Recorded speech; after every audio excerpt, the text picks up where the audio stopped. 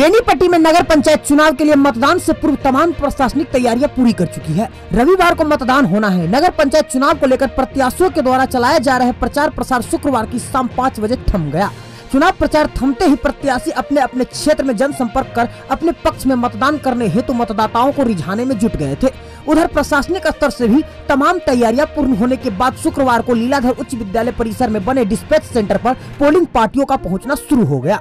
Dispatch centre पर प्रतिनियुक्त दंडाधिकारी व कर्मियों द्वारा पोलिंग पार्टी का मिलान किया गया है। इसके साथ ही एसडीएम अशोक कुमार मंडल की उपस्थिति में मतदान सामग्रियों को पैक कराया गया। शनिवार की सुबह सभी मतदान कर्मियों को ईवीएम के साथ अपने अपने मतदान केंद्र की ओर रवाना कर दिया जाएगा। बता दें कि नवगठित नगर पंचायत बेनीपट्टी के कुल 22 वार्डों के वार्ड पार्षद पद के अलावा वह एक उप मुख्य पार्षद सहित कुल 24 पदों के लिए कुल एक सौ चौवन प्रत्याशी चुनावी मैदान में डटे हुए हैं, जिसके भाग्य का फैसला 18 दिसंबर को नगर पंचायत क्षेत्र के 37 मतदान केंद्रों पर कुल छब्बीस मतदाता करेंगे। वहीं मतगणना के लिए मधुबनी आर के कॉलेज को चिन्हित किया गया है।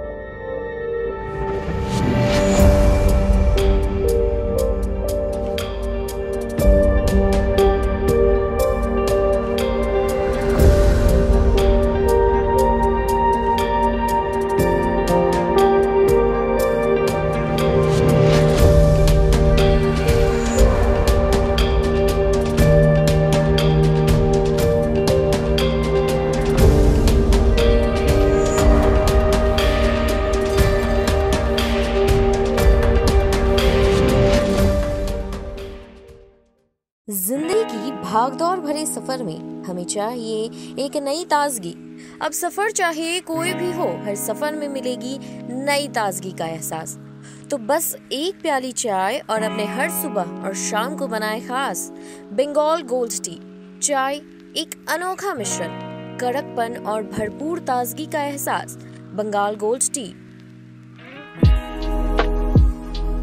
आप हमारे मधुबनी न्यूज़ को फेसबुक पे देख रहे हैं तो पेज को लाइक करें यूट्यूब से देख रहे हैं तो हमारे चैनल को सब्सक्राइब करें और बेल आइकन को दबाना ना भूलें।